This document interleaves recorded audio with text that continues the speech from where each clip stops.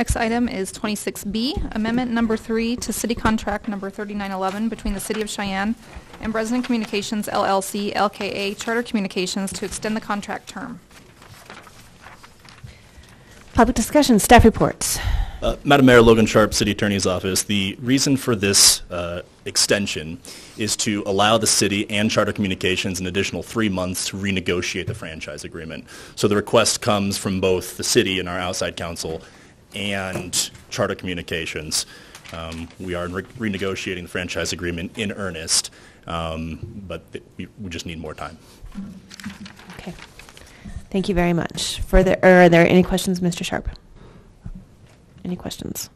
Um, Yes, Madam Mayor, through, through you to, to Mr. Sharp. Um, Yeah, I, I brought this off because um, I, I'm not the only person on the governing body who has heard concerns from, you know, citizens, people in the community about the service uh, in general, about, you know, hey, who do I call if I have a problem? The local folks here don't seem responsive, you know, yada, yada, yada. You know, we've, we've all heard the complaints, we've all heard the stuff. Um, So I just, I, I, I would just like to encourage, and, and maybe this is a discussion that we need to, to engage uh, your office in or um, uh, the administration in, but I, I certainly hope that uh, part of our, our further negotiations would, would be maybe, you know, some dialogue with this provider about, hey, you know, um, we do feel what, what the citizens, you know, feel, you know, have are, you know, genuine concerns about how responsive you are to their, to their calls, their concerns, that kind of stuff. So I, I don't know, is that, do you anticipate, you know, potentially that being part of the discussion, or is that something that's, that's already on the table, so to speak?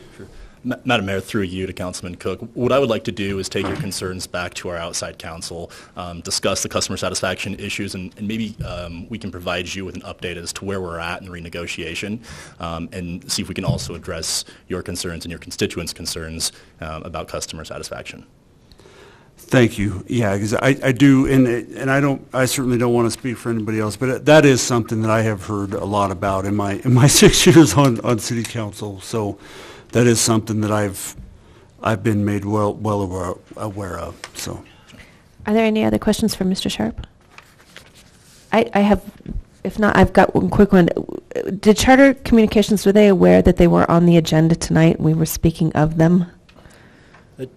M- Madam Mayor, I believe so. Um, We had a member of outside counsel um, uh, who appeared at Finance Committee. No one from Charter appeared at Finance Committee. So the extension was, this extension that's before you now, was circulated um, uh, by Charter. Um, So they were aware of Okay. the extension, yes. Are there any representatives from Charter uh, here tonight? Okay, for the record, no. Thank you. Madam Mayor, we can call their 1-800 number. We've been here for two hours. We could be on for another two. If you'd like to wait. Any other, uh, okay, comments from uh, council? Any further comments by council? Okay, all those in favor? Do we, do we have the motion? Mr. White? Madam Mayor, the recommendation of the Finance Committee is to approve, and I so move. Second. Okay, it's been approved by Mr. White, seconded by Mr. Weibel. Discussion by council.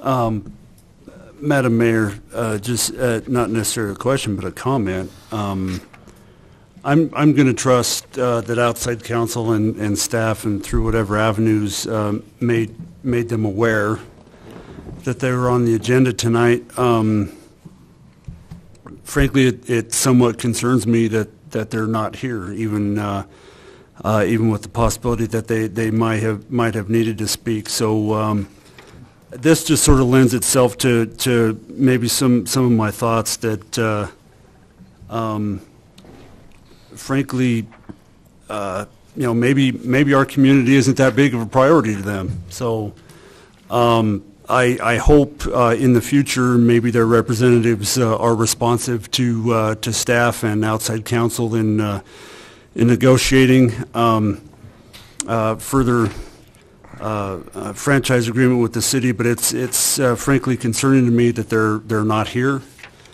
Um, You know, just even on the possibility that they might have been asked to speak, uh, that sends a big message to me that uh, maybe they don't, uh, um, necessarily take our uh, community's concerns very seriously. Any other discussion by, or comments by council? Ma- Madam Mayor, Mr. Johnson? I guess it's just kind of odd since I know we all got a phone call from Eric today inviting us to Boys and Girls Club that nobody would have brought it up, that we were probably pulling it off consent agenda. Just a statement. Thank you.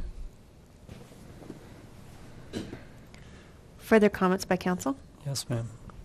Dr. Rinne, Mr. President. I guess I'm curious what would happen if, I mean, I kind of get the sense that a couple of us may want to vote no just to send a statement that they should have been here.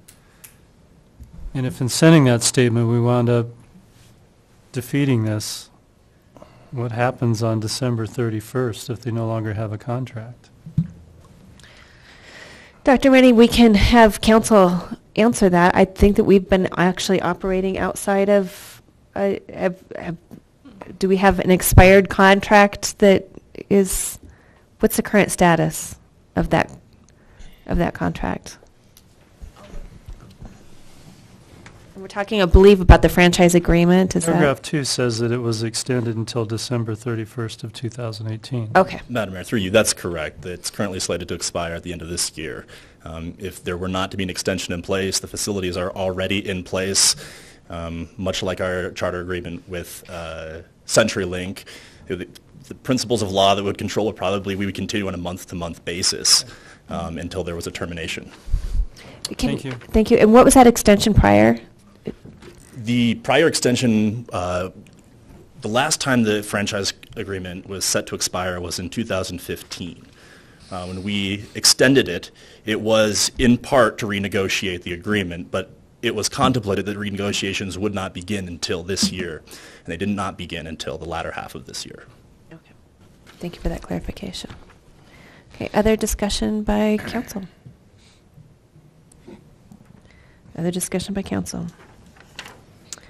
Okay, all those in favor of uh, the motion to uh, extend the contract term, please signify by saying aye.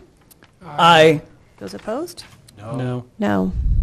Uh, Noes are Mr. Case, President Rinne, myself, Mr. Luna, Mr. Cook. One, two, four. Five Fails. Budget's lost. Yeah, so that extension failed. Next item is number 27A on page six. Announcement that due to the Christmas holiday schedule, the